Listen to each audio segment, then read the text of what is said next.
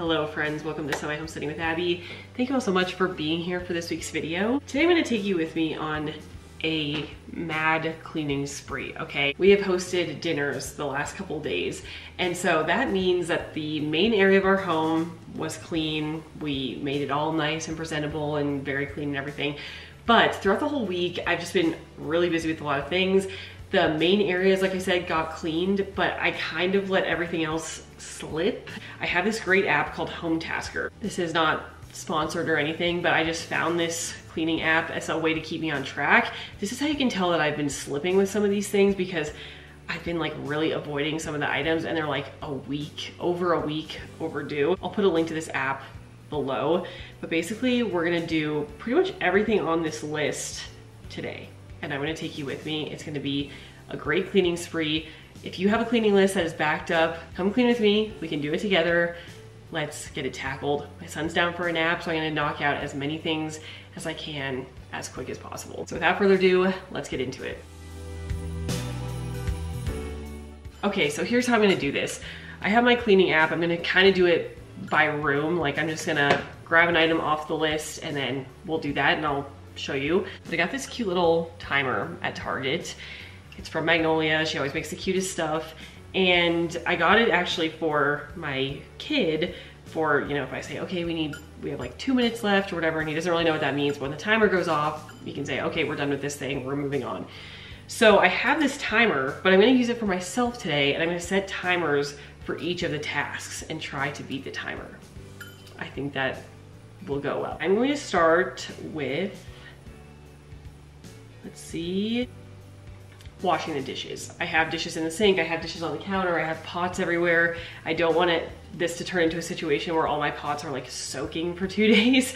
So I am going to set a timer for 10 minutes. That might not be enough with these like big pots, but I'm gonna set myself a timer for 10 minutes and hopefully the dishes will be done by then. Let's get going.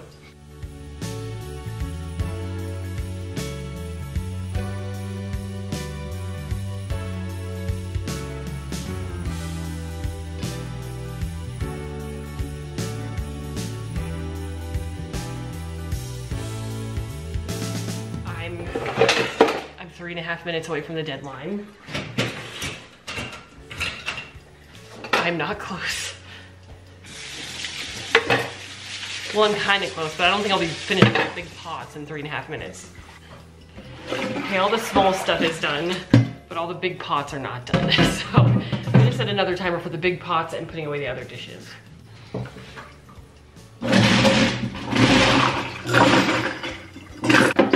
In the disposal and my timer's done, so I'm gonna try to find that. It was a metal toothpick. Okay, all the small stuff is done. I have like the big pots. I have one, two, three, four big things, and I spent one more minute cleaning out the mini crock pot, so that's done. I'm gonna set myself a timer for 10 more minutes to clean out the big stuff. I'm hoping I'm overshooting that.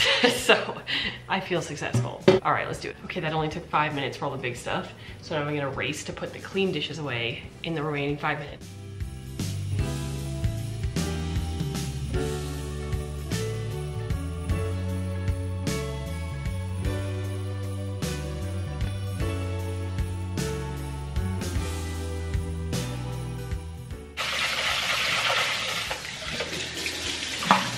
Forgot a bowl.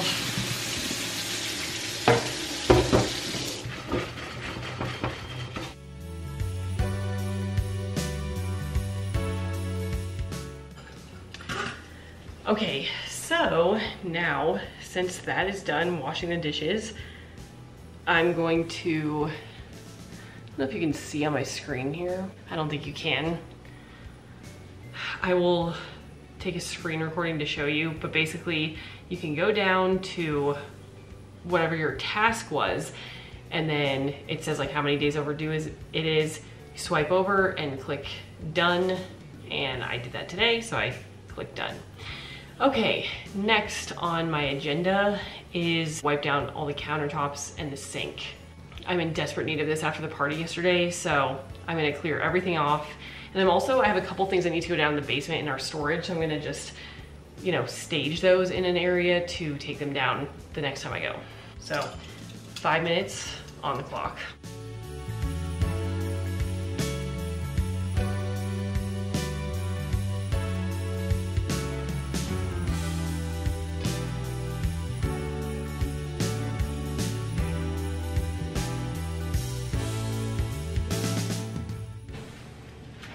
Just as a note, right now I'm not caring at all if things fall on the floor because I'm gonna vacuum and mop the whole thing. Also, these are Branch Basics, which are like the non-toxic cleaning supplies. And so I believe you get a discount maybe. Anyway, I'll leave the, I'll leave the link just for reference. You may get a discount on the link, I'll have to check. But it always smells great and does the job.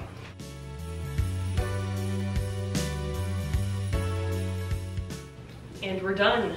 Can't even begin to describe how much more put together I feel. So let's mark that one off the list. Wipe down countertop and sink, done. I also have on here cleaning the dishwasher. I got these dishwasher cleaning pods. So like once this load is done, I have to take out all the dishes, make sure the dishwasher is totally empty, put one of those pods in and run it on a full normal cycle. So I'm gonna try to do that today because it never, I've never actually done it before because it keeps falling. Like since I got this app and I realized, oh, that's something I should do is clean the dishwasher every month or whatever, every other month. I, it always falls at a wrong time because as soon as I'm taking dishes out, I'm putting more dishes in. There's never a time really when it's like empty. So I'm going to try to make that concerted effort today to have it empty and put the tablet in and just run one wash cycle. It's not gonna be hard. I said that there were toys out in the living room as well, which I thought there were, but my husband cleaned them up this morning, it looks like, before we left. So that one I don't need to do, but it's only 12.30. So there's gonna be plenty of more toys and games to clean up as we go throughout the day. So I usually just check that one off right before bed. I'm gonna leave that one for now. It's time to clean and scrub the bathtub because this is the one I wanna do the least. It's the one I've been putting off the most. It's two weeks overdue at this point. So I'm gonna go do that. All right, I'm breaking out this tool. I saw this on Operation Nikki, I think is her name, her Instagram. It has a long handle. You don't have to bend down a ton. So we're gonna get in here with scrubbing bubbles and scrub this. I also have another more hard bristled head for this. So we'll see what it needs. I think this might be all that we need for now, but we'll see.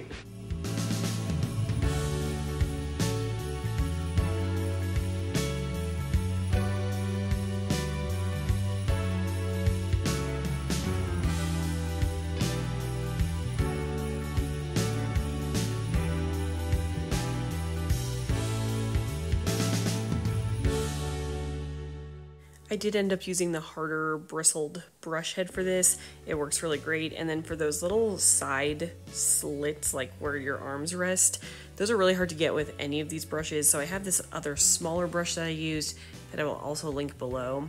I didn't take a video of that one, but just know it's like a smaller, more detailed brush that you can get in all those nooks and crannies. So I'll put that in the description. Okay, now as you can tell, the rest of my bathroom needs help. The bathtub is scrubbed but I'm going to clean up all the clutter, clean up all the clothes on the ground, put them in the washing machine, and then wipe down all the counters, the tile around the tub, and then that other counter. Like everything is a mess right now. I need to put a lot of it away. So let's do that.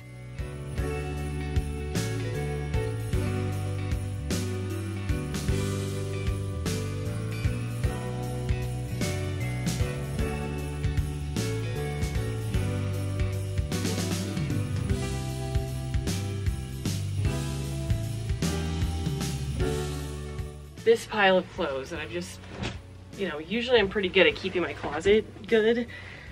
But I got some new clothes from my mom, some from online that I have to take the tags off.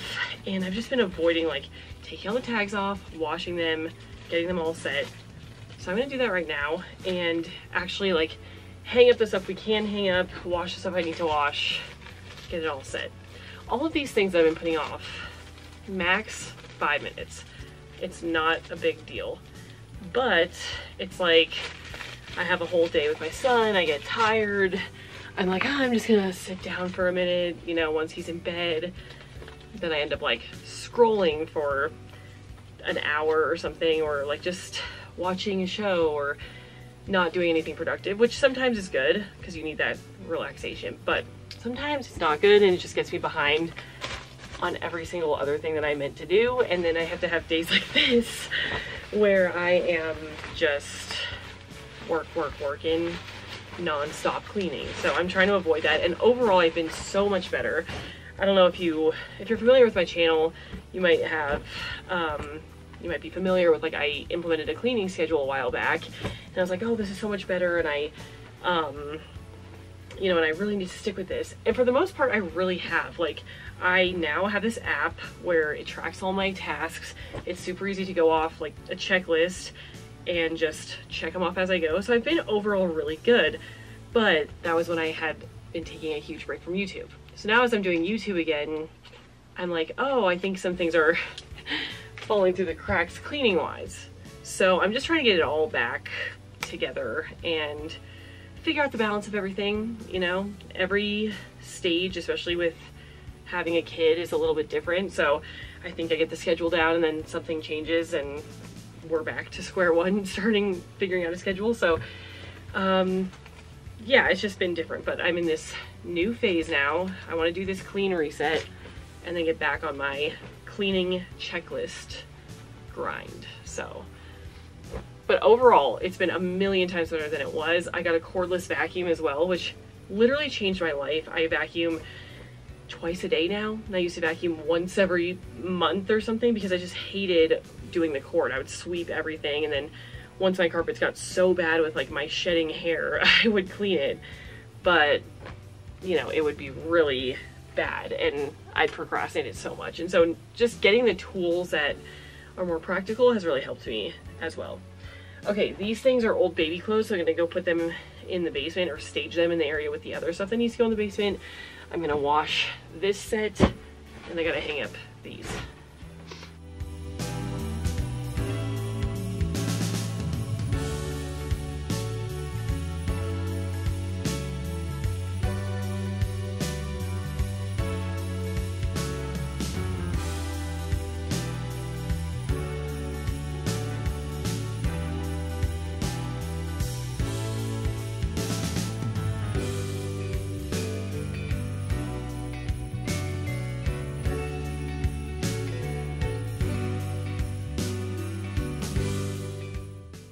Um, take a minute and mention here, you may see me in this video using like half microfiber cloths and half paper towels because, you know, my last cleaning video, when I posted it, people suggested, hey, you're using a lot of paper towels. You might want to use microfiber cloths. They work better and also, you know, more environmentally sustainable and all that stuff. So I was using microfiber and then I realized they were kind of dirty, like they weren't smelling that great. And so I just decided to throw all of them in the wash and switched to paper towels and that worked for today. So this is what the bathroom looked like once I was all done cleaning and the closet. And now for my least favorite, the toilet. I cleaned the inside of the bowl like two days ago. I have to do the whole outside, which is honestly even worse than the inside. So that's okay, let's get it over with. Oh, and I refilled my all-purpose cleaner. So basically how Branch Basics works, again, it's not sponsored or anything, it's just awesome. For each type of cleaner, they have like one concentrated solution and you just add different amounts of water and soap. So there's the water line, so I filled it to there with water and then you fill up the rest of the way with soap. For like window cleaner, it's distilled water, 90% of it, and you just add a couple drops of the cleaner. So after the toilets is all of the windows and mirrors, and I'm gonna be using that glass cleaner to do that. And that's actually right here. I got the glass bottles because I'm turning into a freak about plastic. And it says fill bottle with distilled water, add one drop of the concentrate. And that is your glass cleaner. So I got all purpose and glass using the same concentrate, but two different bottles.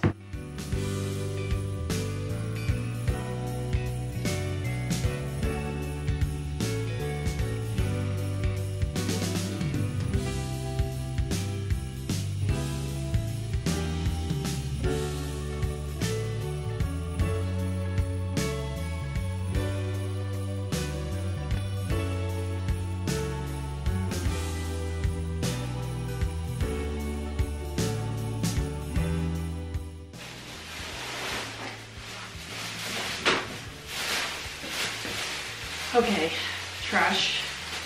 I'm also taking out and replacing the bag. I think the bathroom's pretty much done. I'm not gonna film cleaning the shower because we're having a situation with hard water. The glass is like totally cloudy and not great and I'm trying different things to deep clean it. So I won't put you through the pain of that. Okay, my son is still sleeping. I feel like I'm kind of on borrowed time here. So let me just check what all I got done because I kind of just went on a tangent and cleaned a bunch of things. Okay, so clean, clean and scrub the bathtub, done. Clean and disinfect the toilet, done. Wipe marks off mirror and faucets, done. Clean and scrub sink in the bathroom, done. Tidy up the closet, done. Okay, I cleaned or I, okay, I wiped down the mirrors in the bathroom, but I need to clean and wipe this mirror in our bedroom that we have. So that'll take two minutes, that's gonna be easy. My bedroom is still a disaster. This is what it's looking like right now. So that is what I'm gonna do assuming my baby doesn't wake up. Now, don't judge, we have ordered a new bench for this. This was my failure of upholstering and we just couldn't get rid of it because my husband likes to sit there to play games. So we still have it. It looks absolutely horrible. I didn't try to go back and fix it, so it's just like deteriorated and it looks just awful. So don't judge that, just look at everything else and everything else will be cleaned too. But first things first, I'm going to go wipe down this mirror.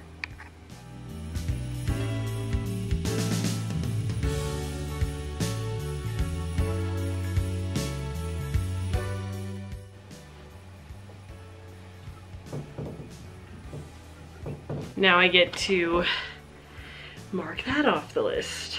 Something else on my list is organized storage. That usually for me means I put this on my list periodically to remind myself to like break down boxes in the garage or move the storage from the basement. I broke down all the boxes like two days ago, so I'm gonna mark that as done for that week. And then it'll actually come up again, you know, I have it a as a weekly reminder. So there's a bunch of storage that I have to organize in the basement, but since I can't do this all at once, I'm just gonna mark it as done because I did the boxes two days ago and then let the next week come up and go down and organize like all of my food storage in the basement. So I had these racks that were by our windows downstairs and I know you're not supposed to, to have your food by the light so I've been meaning to move the racks all the way to the other side of the, the basement and go through all the food because some of it's expired. So I need to do that, that's on my to-do list that's gonna fall underneath the organized storage section. But since I broke down boxes and did some storage organization a couple days ago, that's what I'm marking for the week. I can't do it all at once. I have to keep reminding myself that. So I'm staging it. So I'm going to mark it as done. And then when it comes up in five more days or whatever it is, I will go start working on the food storage situation. Okay, I'm gonna do a quick, rapid uh, bedroom clean. It's kind of like multiple areas on here. One is like uh, wash the clothes, make the bed, just clean up any miscellaneous dishes and stuff. So I'm gonna just do a time lapse and show you me cleaning up the whole bedroom.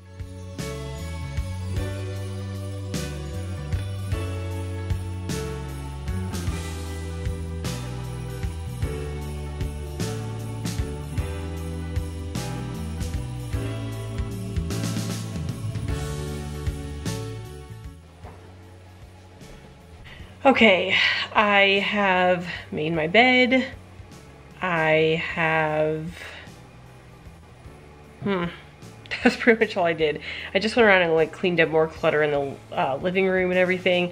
There were some toys, so I feel like I just did a decent amount, but only one thing I can actually check off the list. Oh, the other thing was wash and dry clothes. I did start the laundry machine with all the clothes that were on the floor in the master bedroom, so done. Mick's here to say hi, and I think the baby's waking up.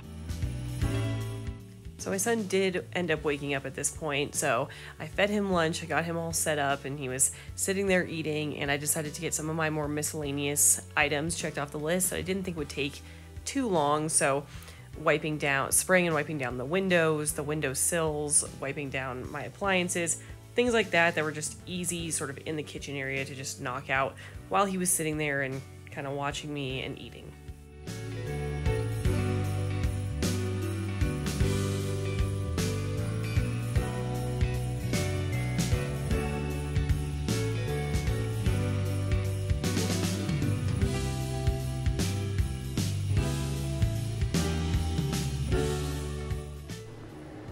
Okay, this never usually gets this bad, but this is horrible. So I'm tackling this now.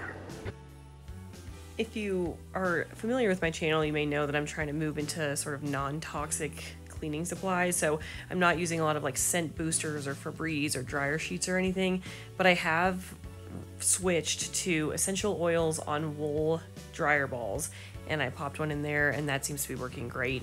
At this point, I also decided to mark the you know washing of my actual washing machine in there, cleaning my washing machine, and I've been using Affresh, which has been really working great. I do this once a month, and if you don't have an app, the side of the Fresh box has like a checklist of each month so that you can check it off if you don't have an app. Also, this cleaning cart or this laundry cart has changed my life with organization, and it's been so perfect. While I'm at it, I'll just move the OxiClean back to its home you know, I'm working on non-toxic cleaning supplies, but sometimes you gotta bring in the big guns. Okay, this is what the app looks like. So I checked off the washing of the washing machine, and now I'm going to fold and dry clothes.